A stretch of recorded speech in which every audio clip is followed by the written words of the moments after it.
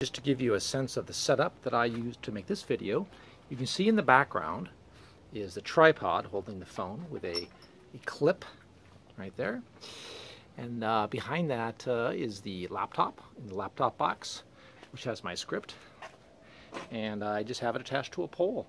It's actually literally in my driveway. Very effective, very simple, very useful, and something that I think really anybody could anybody could set up and do just about anywhere.